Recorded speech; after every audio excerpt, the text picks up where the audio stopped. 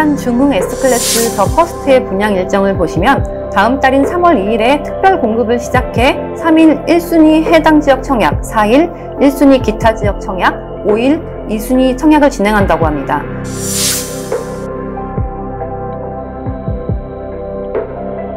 안산 중흥 S클래스 더 퍼스트 많은 관심 부탁드립니다. 안녕하세요. 머니S 김노향 기자입니다. 안녕하십니까. 도시학연대 주용남 소장입니다. 어, 사이버 모델하우스를 새로 여는 곳이 있는데요. 바로 경기 안산시 재건축 구역에 새로 짓는 안산 중흥 S클래스 더 퍼스트입니다. 어, 주 소장님, 예. 단지 정보에 대해 소개해 주세요. 예, 간략하게 먼저 개요 설명드리면 선부동 3주택 재건축 구역 정비 사업을 통해서 새롭게 공급되는 신축 아파트입니다. 전체 1021가구 중에 일반 분양분이 꽤 많이 잡혀 있습니다. 869가구가 이번에 공급이 되는데 위치가 안산시가 이 단원구와 상록구로 나눠져 있죠. 그 중에서도 단원구에 공급이 됩니다. 단원구가 어, 안산시청이라든지 반월국가 산업단지 또 백화점과 고대 안산병원을 비롯해서 도심 기능이 더 발달되어 있기 때문에 상록구보다 평균적으로 3.3제곱미터당 한 200만 원 정도 더 높은 곳이거든요. 그 단원구에 새롭게 공급이 된다. 먼저 이 개요를 잡고 예, 설명을 시작하도록 하겠습니다. 네, 교통 환경이 궁금한데요. 뉴스에서 신안산선 소식이 많이 들리더라고요. 예, 예. 여의도까지 있는다는 거는 알겠는데 중요한 건 이 단지가 역에서 그렇게 가깝지는 않다고 들었어요. 수요자들이 한번 검토해 봐야 하는 부분 아닐까요? 예. 사실 역세권 신축 아파트를 바라는 건 모두의 희망이겠습니다만 가끔 가다가는 여기서 좀 거리가 있더라도 이게 제대로 된 가격으로 책정이 된- 되었는가 이거를 평가를 해 보셔야 될 때가 있습니다. 이 단지가 딱 정확하게 거기에 해당된다라고 보여지는데 아, 일단 도로망을 보시면 도로망은 서안산 IC를 통해서 영동고속도로 쪽으로 쉽게 아, 이동을 하실 수가 있겠습니다. 전철 노선이 약간은 아쉬운 상태인데 현재 2018년도에 서해선 소사 원시 구간이 개통이 되어서 이 서해선을 이용할 수는 있겠습니다만 아, 선부역까지 이동하는데 약 15분 이상 걸리기 때문에 사실 역세권이라고 하기에는 어, 좀 모자르죠. 어, 그리고 그리고 이 서해선은 아, 현재 이 경기도 내에서의 이동을 주로 이제 관장하고 있다면 차후에 만들어지게 될 신안산선은 여의도역까지 이동을 할 수가 있기 때문에 신안산선에 더 집중을 해서 어, 보는 것이 필요하겠습니다. 신안산선이 현재 착공에 들어가서 예. 준공이 언제쯤 예정이고 그리고 어떤 노선인지 좀 정보도 주세요. 예. 신안산선을 이제 보시려면은 경기도 전체의 이 교통망을 파악하시는 방법을 먼저 체크를 하셔야 되겠습니다. 경기도 동남권이라면은 서울과의 접근성에 있어서 강남까지 얼마나 빨리 이동할 수 있는가. 그리고 경기도 서남권, 딱 이 안산이라든지 시흥 같은 지역이 되겠죠. 서남권은 여의도까지 얼마나 빨리 이동할 수 있겠는가를 보시면 되겠습니다. 그 중에서도 이 신안산선은 안산과 여의도를 약 30분 그 시간으로 어, 이동할 수 있게끔 해주는 노선이 되겠습니다. 현재 예정되어 있는 이 개통 시기는 2014년에서 2025년 정도로 잡혀 있습니다. 그러면 이 아파트 중흥 S 클래스의 아, 입주 연도 대비 어, 입주하시고 나서 한 1, 2년 정도 기다리시면 되는 어, 그 시점에 이 전철도 이동할 수 있겠다라고 뭐 예상을 해보시면 되겠습니다. 아, 3, 4년 후면은 아직 좀 멀긴 했는데요. 그럼에도 서울까지 출퇴근 시간이 단축된다면 아무래도 집값이 영향을 받을 텐데 어떻게 보시는지요?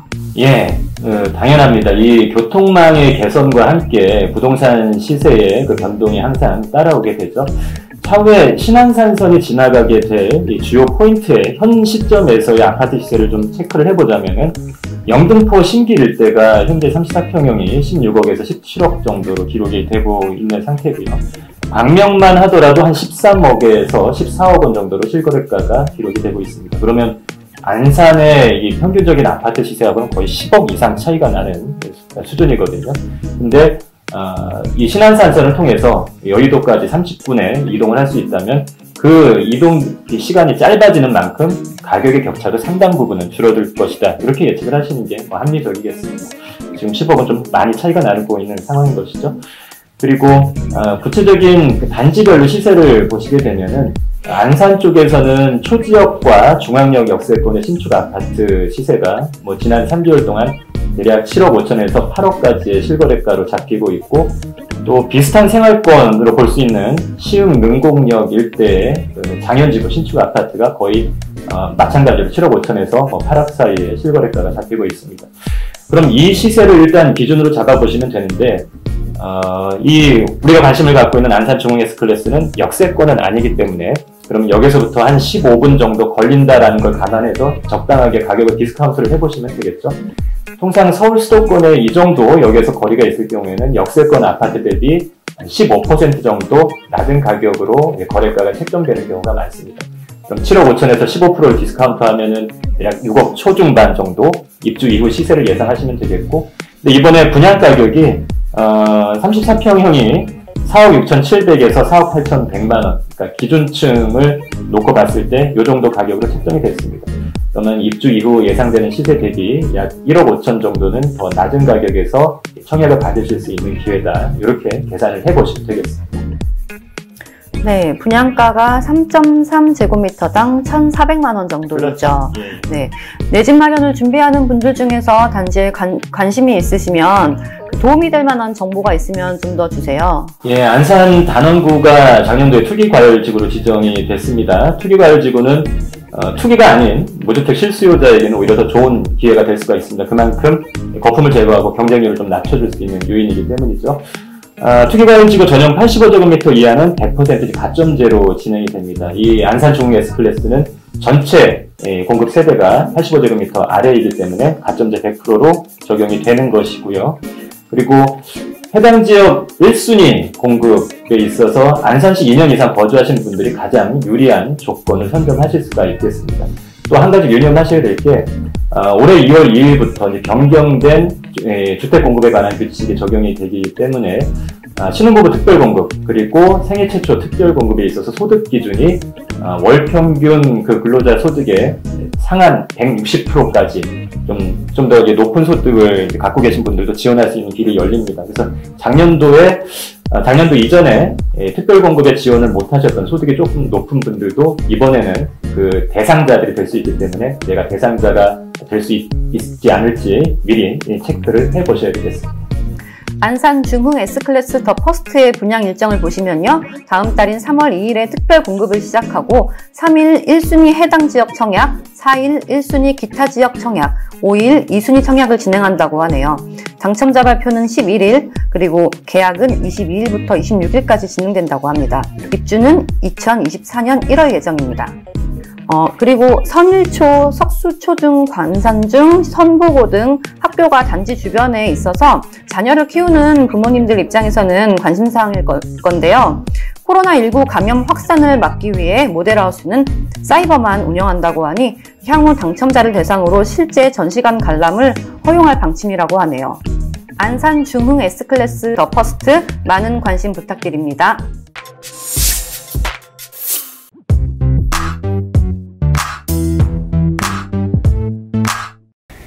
안산 중흥 S클래스 더 퍼스트의 입주자 모집 공고가 2월 18일에 발표가 되었습니다. 3월 2일부터 본격적으로 청약 일정이 시작되기 때문에 아직까지 이 단지에 대한 사전 분석을 못하고 계신 분들은 이번 시간을 통해서 면밀하게 검토를 해보시고 청약에 예, 임하시기를 바라겠습니다.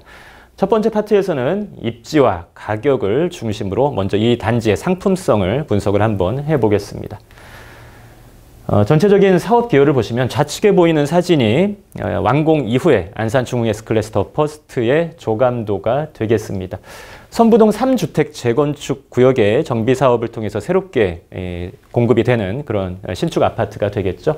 2024년 1월에 완공을 어, 예정하고 있는 상태이고 전체 1021세대, 1000세대가 넘는 에, 대규모의 아파트입니다. 그 중에서도 일반 분양부는 869세대가 잡혀 있는데 전용 59제곱미터의 비중이 더 크네요. 59제곱미터 529세대 그리고 전용 84제곱미터가 340세대 공급이 잡혀 있는 상태입니다. 중흥토건에서 공사를 진행하게 되고요. 분양 일정이 3월 어, 2일 특별 공급을 필두로 해서 순차적으로 진행이 됩니다.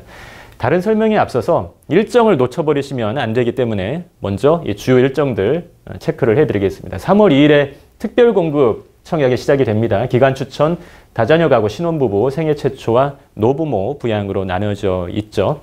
어, 다른 단지들보다도 전체 세대에서 공급 세대에서 이 특별 공급분이 차지하는 비중이 꽤 큰 단지에 해당이 됩니다. 그래서 어, 두 번째 파트의 강의에서 제가 어, 다른 단지보다 특별 공급과 관련된 제도들을 조금 더 상세하게 설명을 어, 드리기로 하겠습니다.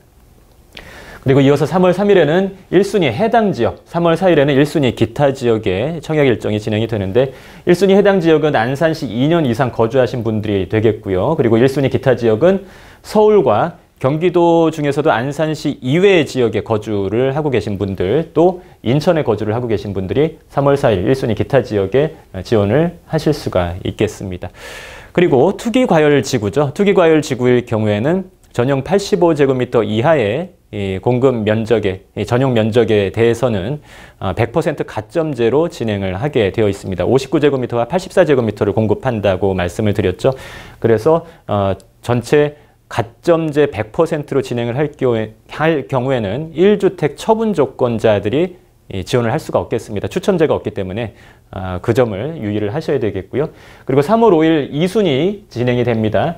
보통 2주택 이상이신 분들이 여기에 이제 해당이 되겠고 그리고 아, 재당첨 제한에 해당되시는 분들은 2순위로도 지원은 하실 수가 없겠습니다. 3월 11일에 당첨자 발표가 예정되어 있습니다. 예비 입주자 그 선정 방식을 참고로 말씀을 드리게 되면 1순위에서 전체 공급 세대수의 500%까지 지역 우선 공급을 어, 적용해서 가점 순으로 선정을 하게끔 되어 있습니다. 만약에 여기서 이제 모자른 결혼이 생길 경우에 2순위에서도 이제 끌어올려서 이제 맞추게 되는 것인데 대부분 1순위에서 끝날 것으로 예측이 되고 있는 상황입니다. 그렇다면 가장 유리하신 분들은 이제 안산시에 2년 이상 거주하셨던 분들일 것이고요. 그 중에서도 가장 위에 특별공급 요건에 어, 해당이 되시는 분들이라면 가장 당첨 확률을 높일 수가 있는 대상자들이 되겠습니다. 아, 특별공급과 1순위의 동일 단지에서 특별공급과 1순위의 중복 지원이 가능하다라는 것은 다 알고 계실 겁니다. 알고 계셔야 합니다. 그래서 가장 우선적으로 하셔야 될 부분, 어, 내가 특별공급 대상자에 해당이 되는지 먼저 체크를 하시고 1순위까지 같이 지원을 하셔서 최대한 당첨 확률을 높여보시기를 바라겠습니다. 아, 광교 중흥 S클래스를 비롯해서 이 중흥 S클래스 주요 분양 단지들 한번 참고로 살펴보도록 하겠습니다. 광교 중흥 S클래스는 수원 지역에서 일반 아파트로서 가장 최초로 20억 원 실거래가를 돌파한 아파트로서 언론에 굉장히 많이 보도가 됐었던 그 단지가 되겠죠. 2020년 5월에 전용 129제곱미터에서 실거래가 21억 원을 기록했던 사례가 있습니다. 가장 최근에는 84제곱미터가 실거래가 16억 원에 거래가 되기도 했고요. 그리고 서울에서도 2020년 7월에 분양을 진행했던 강동 밀레니얼 중흥 S클래스가 있습니다. 전용 84제곱미터 분양가가 다행히 9억을 넘기지 않는 8억 8,450만 원에 공급이 돼서 어, 그만큼 예, 중도금 대출을 받을 수 있었기 때문에 뭐 경쟁률도 높이 올라갔겠죠. 평균 청약 경쟁률 35.56대 1을 기록했던 단지였습니다. 다른 수도권 지역으로 가보시면 화성의 봉담 2 지구의 중흥 S클래스 단지가 대거 지금 들어가고 있는 상태입니다. 아, 봉담 2지구 1차부터 3차까지 계속 이제 분양을 진행을 해서 현재 가장 최근에 이제 3차를 진행을 했는데 1, 2, 3차와 신혼희망타운까지 다 합치게 되면은 예, 중 S클래스가 거의 4,600세대가 넘는 이 대규모의 군집을 이루게 되는 것이죠. 어, 3차 진행 결과를 보시게 되면은 전용 99제곱미터 분양가 4억 2,700에 책정이 됐었고 평균 청약 경쟁률은 5.97대 1. 3차 어, 중에서도 이제 에듀폴의 C1 블럭이 되겠습니다. 그리고 3차 에듀시티 A5 블럭이죠. 전용 59제곱미터 분양가가 3억 5천만 원에 책정이 됐었고 평균 청약 경쟁률은 5.74대 1로 기록이 됐었습니다. 전체적으로 수도권부터 서울까지 어, 최근 들어서 중흥 S클래스의 그 공급 단지들이 계속해서 늘어나고 있다는 것도 참고로 어, 알아두시면 도움이 될 것입니다. 입지를 분석을 해드릴 텐데 어, 세세하게 안산시 내부를 들여다보기 전에 이 전체적인 광역 지도를 놓고 안산시의 그 위치를 구도를 한번 살펴보도록 하겠습니다. 도시의 개발 과정을 보시면 역시나 서울과 수도권의 관계에 있어서 서울 안에서도 주요 도심지들이 있겠죠. 서울에 3도심이 있습니다. 강남과 영등포, 여의도와 한양, 도성이 그 세 가지입니다. 안산시 같은 경우에는 서울을 중심으로 했을 때 서남권 방향에 있기 때문에 서울의 3도심 중에서도 그 포인트로 잡을 곳은 영등포 여의도 권역이 될 것입니다. 거기서부터 출발을 해서 어, 쭉 내려오다 보시면 내려오다 보면 광명시가 나타나죠. 중간 기착지가 될 것이고 그리고 광명시 그 다음 단계에서 안산시가 나타나게 됩니다. 안산시와 이제 경쟁 구도로 어, 같이 이제 놓고 이제 평가를 해보실 만한 지역이 시흥시가 될 것이고요. 어, 앞으로 여러분들이 이 안산시의 그 변화를 예측을 해보실 때는 현재 이 서열구도 영등포에서부터 시작해서 광명 그리고 안산시로 내려오는 서열 구도 안에서 현재의 가격 격차를 얼만큼 좁힐 수 있을지 그러한 요인이 계속해서 작용을 하고 있는지를 어, 중점적으로 평가를 해보시면 되겠고 또 수요를 분산시킬 수 있는 주변 지역 뭐 시흥시나 어, 조금 상위 지역이라고 할 수 있는 군포 의향이 있겠죠. 그 상위 지역으로 수요를 뺏길 만한 요인은 없는지를 좀 면밀히 분석을 해보면서 같이 강의를 들어보시면 되겠습니다. 이제는 안산시 내부로 들어와서 어, 세밀하게 한번 살펴보도록 하겠습니다. 안산시는 크게 단원구와 상록구로 나뉘어져 있습니다. 그 중에서도 단원구의 어, 제곱미터당 3.3 제곱미터당 아파트 시세가 약 200만 원 정도 200만 원의 격차면 꽤 큰 격차죠. 어, 그 격차를 보이고 있는데 그럴 수밖에 없는 것이 단원구의 상당수의 도심 기능이 전부 다 집중이 되어 있기 때문입니다. 어, 가장 이제 전통적인 노선이죠. 4호선을 중심으로 해서 어, 중앙역부터 그 다음에 고잔역, 뭐 초지역으로 쭉 이어지고 있는데요. 행정동으로 말씀을 드리면 중앙동, 고잔동, 예, 대부분의 이 도심 기능이 많이 집중이 되어 있는 상태이고 또 초지동으로 넘어가서 어, 서남 쪽에는 반월 국가 산업단지가 나타나고 있습니다. 중앙동 고잔동에는 시청을 비롯해서 뭐 고대 안산병원, 예, 종합병원이 있겠죠.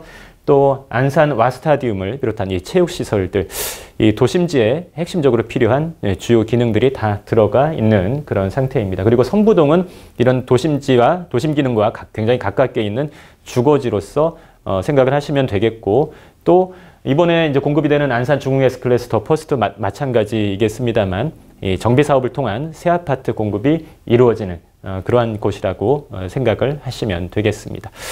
교통 노선을 중심으로 살펴보시면 어, 현재 놓여져 있는 노선은 서해선이죠. 서해선 중에서도 소사 원시 구간이 개통이 되어서 이용을 하실 수가 있는 그런 상태입니다. 아, 그러면 이 서해선에 가장 가까운 역은 선부역을 잡아보시면 될 텐데 아, 선부역까지 이동 수단이나 그 시간이 역세권이라고 평가를 하기에는 좀 모자른 것이 사실입니다.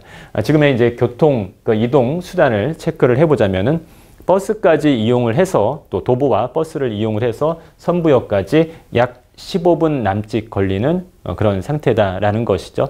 그럼 이, 이 순간부터는 여러분들이 가격에 대한 평가를 조금 더 면밀히 해보실 필요가 있겠습니다.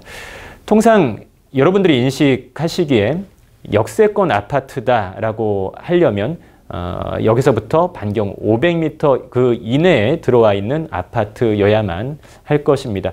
여러분들이 뭐 직관적으로 이해하고 계시는 것과 마찬가지로 이 연구 논문에서도 서울연구원에서 2004년도에 그 발표한 서울의 7호선 라인을 중심으로 한 역세권의 경계가 540m로 잡히고 있다는 것을 생각을 해보시면 여러분들이 직관적으로 이해하시는 것과 뭐 별 차이가 없습니다.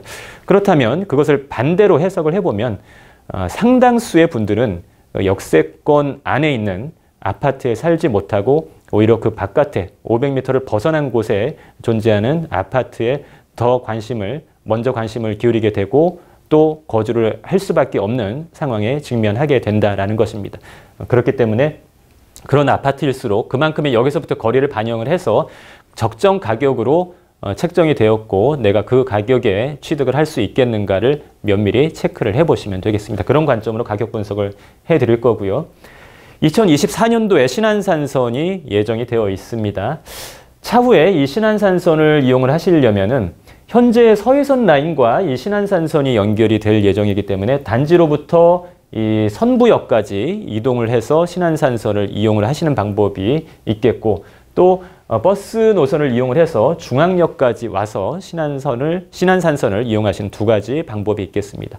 중앙역으로 이동하는 방법이나 뭐 선부역을 이용하는 방법이나 이 신안산선을 이용하는 방법 자체에 뭐 큰 차이는 없기 때문에 나중에 뭐 어느 방법을 사용하셔도 무방하겠습니다.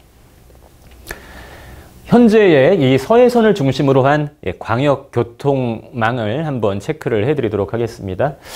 어, 서해선을 어, 타고서 어, 소사역까지 이동을 하시게 되면 소사역에서 1호선을 타실 수가 있겠습니다. 그 1호선을 타고 대방역까지 가서 대방역에서 버스를 이용해서 뭐 여의도역까지 도착하시는 방법도 있겠고 또 1호선을 타고 가시다가 노량진역에서 9호선을 환승해서 여의도역까지 도착하시는 방법도 있겠습니다.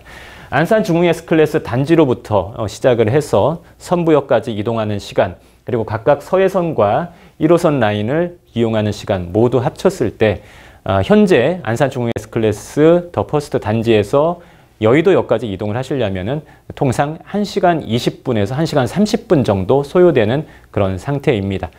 시간이 꽤 많이 걸리게 되는 것이죠. 뭐 이 상태로 남아 있을 수밖에 없다면은 뭐 그야말로 좀 아쉬운 상황입니다만 어, 걱정을 하실 필요는 없는 것이 신안산선을 통해서 여의도역까지의 접근성이 굉장히 많이 개선이 될 예정이기 때문입니다. 신안산선의 이 노선도를 한번 살펴보도록 하겠습니다.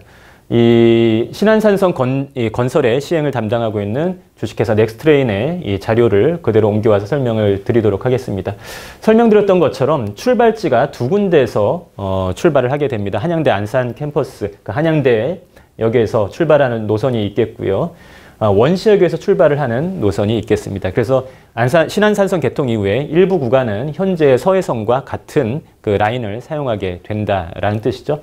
어, 서해선의 선부역에서부터 신안산선을 타시든 아니면 버스를 이동해서 어, 중앙역에서 신안산선을 타시든 단지로부터의 그 출발해서 이동 거리가 큰 차이가 없기 때문에 내가 편한 방법을 선택을 하시면 되겠습니다.